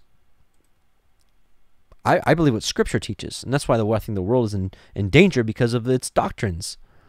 Sirach 30, 1 through 13. He who loves his son will whip him often. Some people will be like, "Yo, you're crazy." This is scripture, and guess what? The book of Proverbs says the same thing. In love, I would just share with you that I know some parents are, are completely against this, but this is what the scriptures teach us, regardless of what our heart thinks. It's like, oh, I can't do that. This is this isn't talking about like beating them up. This is talking about just good old good old fashioned spanking on the butt in order that, listen, he who loves his son will whip him often, in order that he may rejoice at the way he turns out. He who disciplines his son will profit by him, and will boast of him among acquaintances. He who teaches his son will make his enemies envious, and will glory in him in the presence of friends. The father may die, and yet he is not dead, for he has left behind him one like himself. While alive, he saw and rejoiced, and when he died, he was not grieved. He has left behind him an avenger against his enemies, and one to repay the kindness of his friends. He who spoils his son will bind up his wounds, and his feelings will be troubled at every cry. A horse that is untamed turns out to be stubborn, and a son unrestrained turns out to be wilful. Pamper a child, and he will frighten you. Play with him, and he will grieve you. Do not laugh with him, lest you have sorrow with him. That doesn't mean you can't ever laugh, and this is just saying don't be like a you know a jokester with him all the time lest you have sorrow with him, and in the end you will gnash your teeth. Give him no authority in his youth, and do not ignore his errors. Bow down his neck in his youth, and beat his sides while he is young, lest he become stubborn and disobey you, and you have sorrow of soul from him. Discipline your son, and take pains with him, that you may not be offended by his shamelessness. Now, again, as a parent, uh, myself, I do not like spanking my children. I'm sure, much like the Father doesn't like punishing us. I'm sure He'd much, much rather us just walk in the straight, narrow path that He told us to do and not go to the left or the right. But because He loves us and He doesn't want us to go far, doesn't want us to stray off the path, chastens us. In the same way, we must be with our children. So here, Messiah is making this point. All right. Book of Natsarim, chapter 3, verse 22. Now, close by there was a well, and the disciples were drawing water for drinking. Yahusha called them over and said, Do you find this water refreshing? They replied, Yes. We have drunk our fill and are refreshed. Yahusha said, Does any water remain in the well? They replied, Master, this well is inexhaustible and cannot be drunk dry by any number of men. Then Yahusha said, It is even so with my teachings. What I have revealed so far is but a small portion of the whole, yet it suffices for the present needs. The people among whom we go are perverse and headstrong, and like a thirsting ass, can be given only sufficient to ease their pres- pressing need. If they say to you, This is beyond our understanding, or You have told us only in part, recall this well and the refreshing water you obtained from it. Let's talk about this for a second about his teachings, his word being the water, and we've been likened to plants that grow. Let's talk about this for a second. Here in Isaiah 55, we get a pretty cool little look at this. Isaiah 55. Ho, everyone that thirsts, come to the waters, and he that has no money, come ye and buy and eat. Yes, come and buy wine and milk without money and without price. Why do you spend your money for that which is not bread, and your labor for that which does not satisfy? Hearken diligently, listen to me. And we know that the Torah teaches us that hearkening to him means obeying his commandments. The same thing the Messiah said that my sheep hear my voice and they follow me. If we're to follow him, we do the same things he did. So if he's obedient, we're obedient. If he kept the Sabbath, we're going to keep the Sabbath. If he disregarded all the man made teachings of the Jews, we're going to disregard all the man made teachings of the Jews. If he ate clean, we're going to eat clean. If he kept the feast days, we're going to keep the feast days. Hearken diligently unto me, and eat you that which is good, and let your soul delight itself in fatness.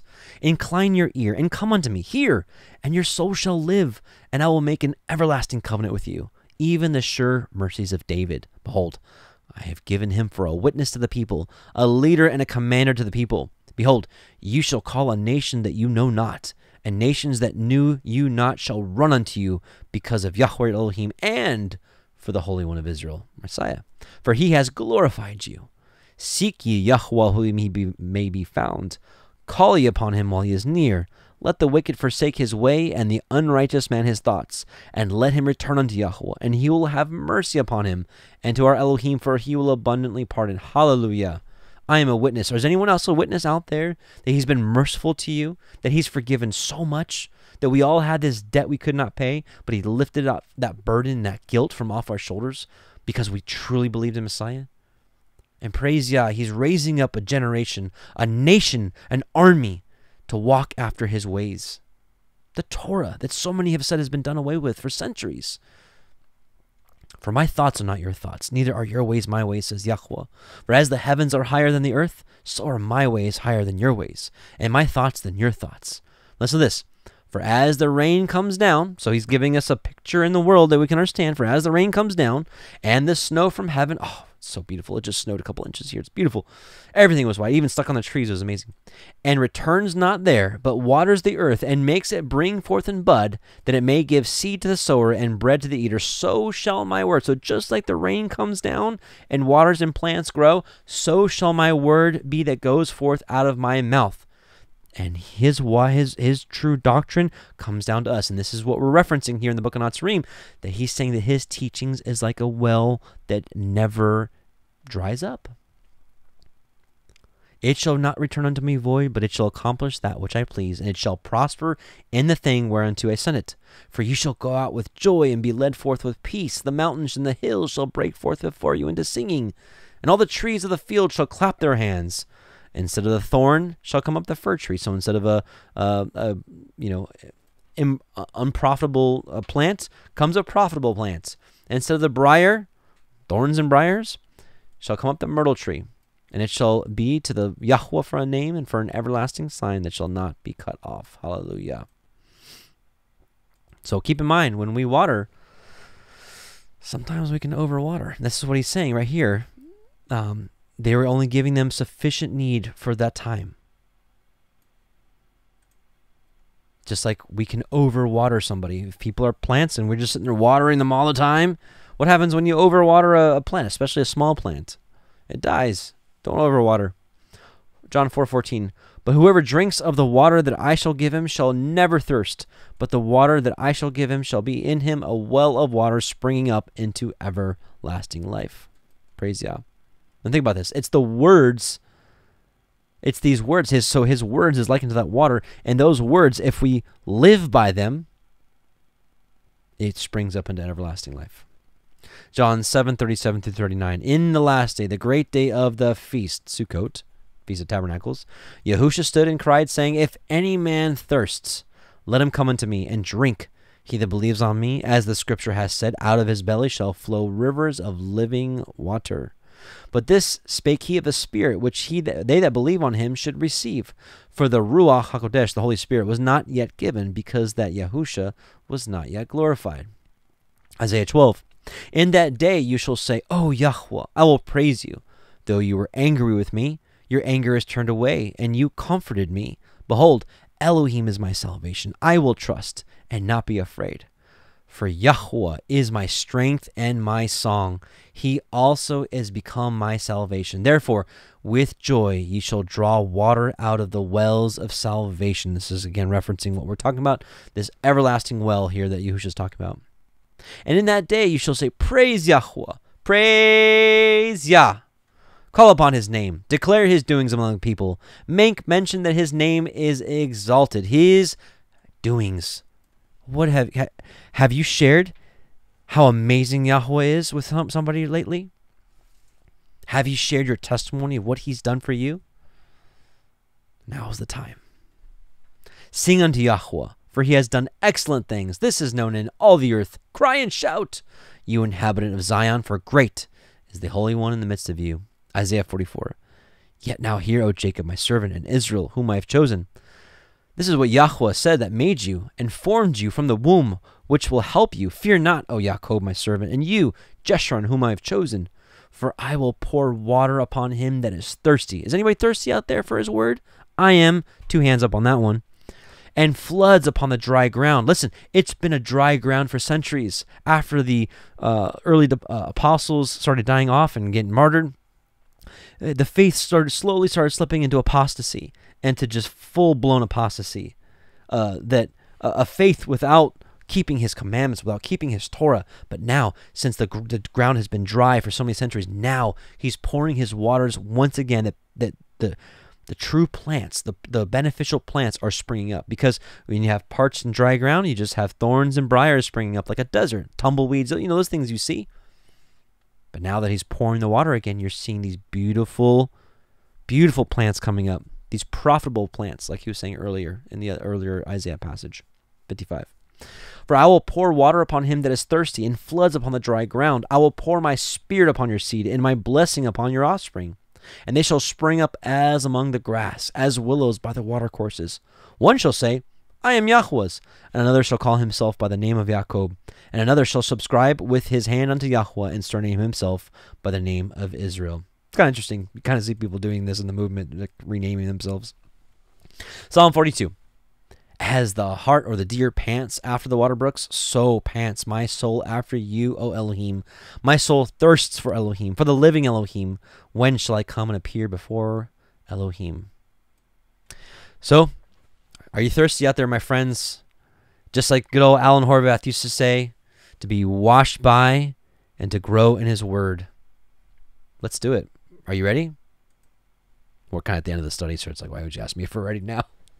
Anyways, all right, we talked enough about the well. So again, he's talking about this well, that his his words are likened to a well that is not able to be exhausted ever. Okay, chapter 3, verse 24. One of the disciples asked, How shall we judge what people do, whether it be good or whether it be bad? Yahushua said, If you are unsure whether a person's actions be good or bad, incline in his favor. Wow, could this movement really use this? Give them the benefit of the doubt. Even the secular world says, innocent until proven guilty. But for some uh, whatever reason in this movement, people act the opposite and people cast stones and people call people guilty without even giving them an opportunity or even looking at evidence. Let's read this again. Yahushua said, If you are unsure whether a person's actions be good or bad, incline in his favor. If anything may be interpreted favorably or otherwise, then interpret favorably. Give them the benefit of the doubt. Even though you're like, huh, I don't know about that, give them the benefit of the doubt. Listen, do not seek for wrongdoing this is such this is so profound. Do not seek for wrongdoing like dogs chasing a foul smell. And I see this in this movement, especially people that came into Torah through conspiracy. I am not against conspiracy topics because I also through exposing lies and uh, and and looking at conspiracy topics brought me into the truth. It's like I, was researching like okay, um, Freemasons what what are they? Uh, oh, why why are they like this brotherhood? Um, you know, why do uh, just a handful of families um, own all the wealth, and why, uh, you know, why did, did uh, since when does jet fuel burn through steel? Um, hmm, interesting. Why all these things happening? And you know, whatever. That led me on a journey of truth to to the Father's word. But the thing is, people get so used to that that they go they they are like dogs chasing a foul smell. You're wrong. You're wrong. You're a Freemason. You're you're a shill. That's probably a bad impersonation. That's what people do.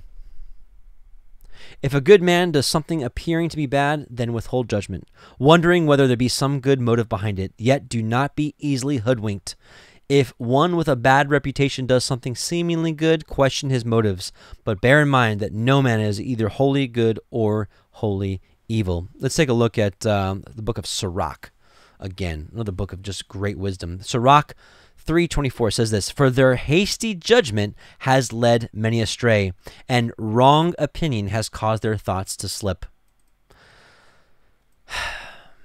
That's also why I see in this movement. People are just looking for something. They're looking for a reason to hate somebody. They're looking for a reason to this. They're like a dog chasing a foul smell. Let me read this again. For their hasty judgment has led many astray, and wrong opinion has caused their thoughts to slip. Think about it. Don't be like a dog chasing a foul smell. All right, last verse we're going to read today, and we're going to stop here. Yahusha said, Fortify yourselves with knowledge of truth as I have imparted to you.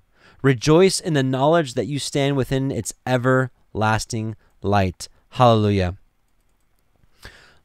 Oh, yeah, this, okay. I was wondering why I had this earlier, and I was like, well, this doesn't really go with it. But hey, let's read anyways. Psalm 119, 142. So he says this Fortify, fortify yourselves with the knowledge of truth. Well, what is the truth? Your righteousness is an everlasting righteousness, and your Torah is the truth. That is a defining verse that helps us unlock other verses. Proverbs 6:23 says, "Your commandment is a lamp, and the Torah is light." Are we starting to see here? So, so he says, "Fortify yourselves in the knowledge of the truth, as I have imparted it to you. Rejoice in the knowledge that you stand within its everlasting light." So the Bible defines, the canon defines Torah as being the truth and being the light. So again, let's read this. Fortify yourselves with the knowledge of the truth as I have imparted to you. So we're we're using him as our perfect teacher of how to interpret the Torah. And that's how this whole book started, that he is the interpreter of the Torah for us. Rejoice in the knowledge that you stand within its everlasting light. Psalm 43 3. Oh, send out your light and your truth. Let them lead me. Let them bring me unto your holy hill and to your tabernacles. Because I can tell you what, brothers and sisters, we are not getting to New Jerusalem without walking in his Torah, without walking in his truth and his light. Let's read it again. Oh, send out your light and your truth. Let them lead me. Let them bring me unto your holy hill and to your tabernacles. So, there's, and, and through this entire book, we're going to continue to show you that our Messiah taught Torah obedience clearly. You want to learn more about Torah? Read it for yourself. You want some help with understanding? There's plenty of ministries out there that do Torah teachings. We do one every week. Every every uh, um, uh, Shabbat night, we do a study of the Torah. We read a little portion and we talk about it. Not that I have all the answers, but I like to share what I believe the Most High has shared with me. I believe now is the time to understand His Torah and to walk in it with all of our heart, soul, and mind, with the understanding that Messiah gives us. Malachi 2 6. The law of truth was in his mouth, and iniquity was not found in his lips. He walked with me in peace and equity, and did turn many away from iniquity. So, with that, brothers and sisters, um, I pray that this was somewhat a blessing. Um, if I can just be so bold to say this, the book gets better as we read it. I'm not trying to pitch it, but I just I know that the first couple chapters is like, eh, you know, chapter 3 starts getting good chapter 4 and beyond is just amazing so i pray that you'll stick with us and, and read this uh, again uh, there is a free pdf for this uh, I'll make sure that's in the description box below and uh, in the uh, pinned comment. There's also an audiobook reading of the entire book. So if you prefer to listen or like, you know, if you're in your commutes or whatever, that's also free. For those of you that want a book in your hand, it is available for purchase. But know that this book is for free first and foremost. But we do know we had this available because we know people would actually want to hold them in hold it in their hand, and I get it. But for those of you that just want it free, it's free. So, anyways, with that said, uh, blessings to you all. Um, I look forward to studying the rest of this book with you, uh, line by line. And my whole goal of this is to grow together. And I believe this book has a lot of information to help us refine our walk and to grow together. So let's pray. Father Yah, we just thank you again. Uh, we just bless you for all that you do for us. And we just ask that you'd continue to strengthen us with your Ruach HaKodesh, that we may know truth and may know your light and may be ready at the return of Messiah Husha. And we want to just do what's right. Father, we want to serve you and, and, and, and we want to love you and love people with all of our heart, soul, and mind because it's the right thing to do. And we want to do it, Father. Help us, guide us, teach us we bless you and thank you for sending Yahusha to die on a cross for us. In his name we do pray. Amen. Hallelujah. Shabbat Shalom. If you want to join us, the Torah portion uh, should be um, here in about 10 15 minutes. It's going to be Exodus 6 2 through 9 something. It's the plagues. So, Shalom. What are we going to play today? I don't know. Let's, let's do a song. Let's do a song. Let's do. Do I have the Seed of Abraham? Oh, yeah, Seed of Abraham.